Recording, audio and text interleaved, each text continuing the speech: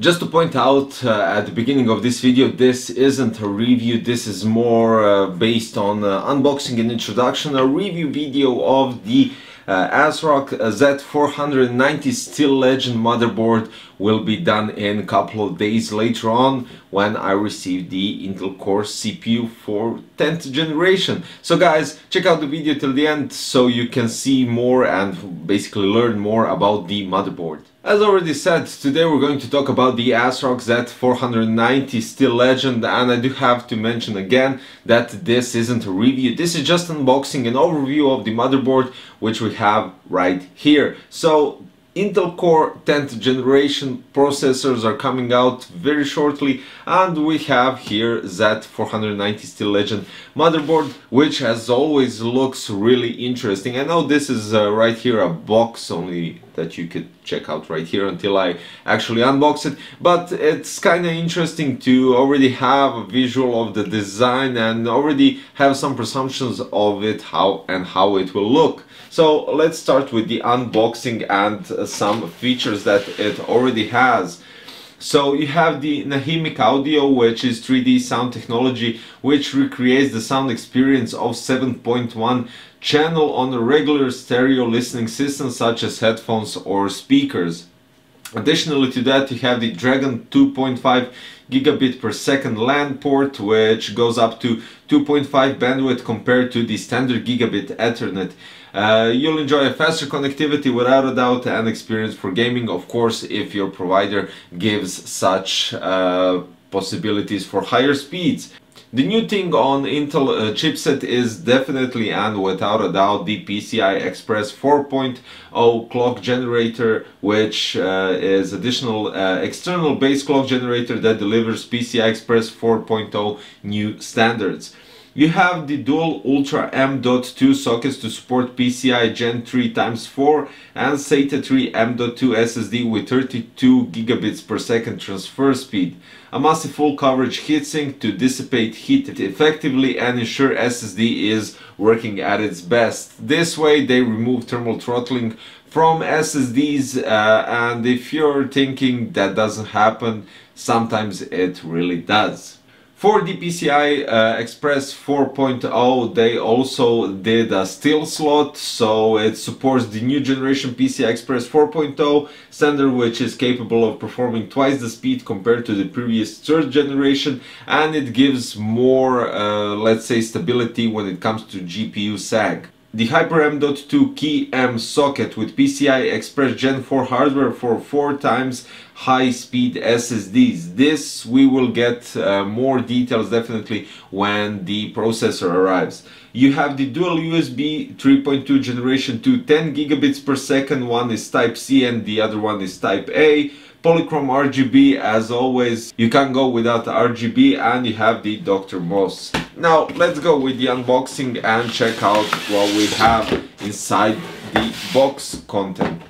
First of all we're going to skip the motherboard and check out what we got inside the box. So you have here let's start with these. We have uh, two M.2 screws and two M.2 locking nuts for your motherboard you get some sort of an ASRock envelope which has loads of stuff. Let's check it out. So you have two velcro tie with uh, ASRock logo on it. You have the DVD for drivers. You have the ASRock postcard if you decide to brag to your friend, friends. And you have loads of Steel Legend stickers which one of those are definitely dedicated for Steel Legend cable labels so you can know which cable is going where and where it is on your power supply and similar stuff like that. That's all which is contained in the envelope. You have the quick installation guide which comes with loads of different languages. You get software setup guide which also comes, well basically this one comes only on English. Uh, you get, oh yeah, I forgot one standoff screw. You get three standoff screws. Okay, so three uh, standoff screws for M.2 and three uh, screws to tie the M.2 SSD and you get two uh, SATA 3 cables that go up to 6 gigabits per second. That's all that is to it in the box except for the motherboard which we'll get to right now. One thing I do have to give credit to ASRock is uh, every single one so far that I encountered with motherboard that comes uh, from them is always attached to this foam material with uh, zip ties so they secure the motherboard properly. Now let's start with the motherboard. At the left top you have the 8 pin plus 4 pin connectivity power for your CPU. You have 24 pin connection right here at the far right side which also has I think this Steel Legend uh, lights up when you connect and turn on the motherboard it definitely has a different design than the usual Steel Legend motherboard since it has this uh, cutout and uh, separation from the whole part. You have six SATA ports, uh, four on the right side and at the right bottom side. so as mentioned supports 10th generation Intel Core processor and future generation Intel Core processors on socket uh, 1200 the chipset is Intel Z490 it has four DIMMs for uh, DDR4 uh, that go up to 4266 in overclocking mode. Expansion slots are uh, one PCI Express slot 4.0 times 16, one PCI slot 3.0 times 16, three slots are 3.0 times 1 and you have the one M.2 key E for the Wi-Fi connectivity. Multi-GPU you have AMD two-way Crossfire X possibility and it supports Intel HD graphic built-in visuals with processors which are GPU integrated. Uh, when it comes to graphic outputs it has one DisplayPort and one HDMI for storage you have 6 SATA 3, 2 Ultra M.2 which I already mentioned are PCI Express Gen 3 x 4 and SATA 3 and you have one Hyper M.2 which is Gen 4 x 4 for future CPUs. Intel SATA supports uh, RAID 0, 1, 5 and 10 which gives you possibility for RAID fields and the possibility to make some storage if you wish to do that. Now unfortunately this uh, Steel Legend motherboard uh, comes with IO Shield which is already prepared for the wireless connectivity but uh, this one doesn't have it. Uh, I won't say anything bad about it but it would be really cool to have it uh, right here with Wi-Fi even though you can connect the M.2 card right beneath the PCI Express slot. Standard Steel Legend design which goes back to the gray and black color scheme with additional uh, graphics which are usually known on the Steel Legend motherboards. So you have a huge heatsink going right here which covers the M.2 uh, slot for better cooling and you have top right top M.2 as well which is right beneath the uh, CPU socket. Talking about the PWM connectors for your fans, you have up to seven connectors which is just enough to basically connect uh, all the fans in your case. Uh, maybe adding one splitter since you do need a CPU fan uh, connector as well. Uh, talking about the RGB you have and this is really cool you have two addressable RGB so that's 3 pin 5 volts connectivity and you have two 4 pin 12 volts RGB connectivity Two of them are at the top, so you, at the top you have one addressable RGB header and one RGB header and at the far left bottom part you have the addressable RGB and the RGB header as well.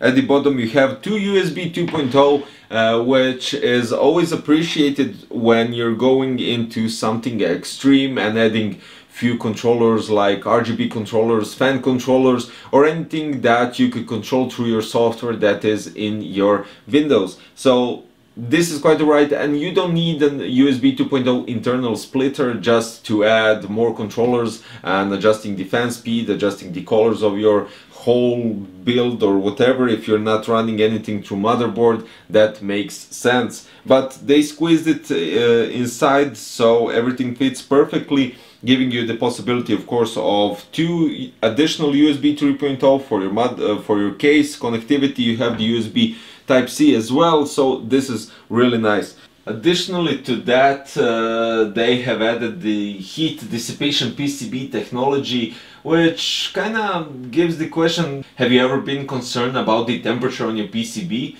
Well, in this case, they developed and did this heat dissipation PCB, which gives you, uh, which gives the motherboard a more mysterious touch, and this design effectively takes the heat away from the PCB and lower down the temperatures up to 4.1 degrees.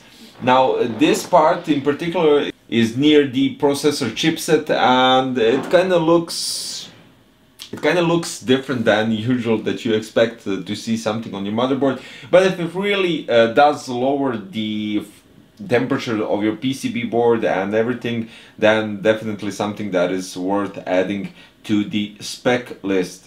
Uh, I do have to say that uh, checking out the IO shield and IO connectors, they could have added two more USB ports next to the LAN port or above the USB 3.2 which would definitely make seven uh, USB ports since five are just revolving around mouse, keyboard, headset and then you have maybe additional USB storage and that's it. As already stated on my Instagram profile in one post where I posted the box uh, of the Z490 Steel Legend I honestly do love all the designs of the Steel Legend motherboards, even the lower models and basically I don't have anything against this one. They really did place loads of connectivity and compacted everything very tightly so they can add I don't know four RGB uh, connectivity. Uh, you have seven PWM connections for the fans. Uh, everything is nicely arranged and everything is placed as it should be so you could reorganize your cables and get easy uh, location. One thing I do really love about the PCI Express slot is a bit lower from the DIMMs so the DIMMs don't get connectivity well not connectivity. They don't look like they're touching the graphic card and definitely prefer the M.2 going above the graphic card. So imagine the accessibility of the M.2 slot right here at the top which gives you basically clear access to the M.2 without removing the graphic card or removing uh, the AIO or custom uh, CPU cooling with some custom liquid cooling. For instance uh, you do you would have to remove if you have a CPU tower cooler but then again it's still easy accessible. Uh, guys uh, that's all there is to it for today. Basically I can't give you any practical results since this is just an overview and not a real review as I said at the beginning of the video. So stay tuned. Don't forget to like the video if you really liked it. And if you like the design of the uh, new uh, ASRock Z490 Steel Legend motherboard uh, the review video and all the benchmark testing and everything will come really shortly. Thank you for watching and see you in another one. Bye bye.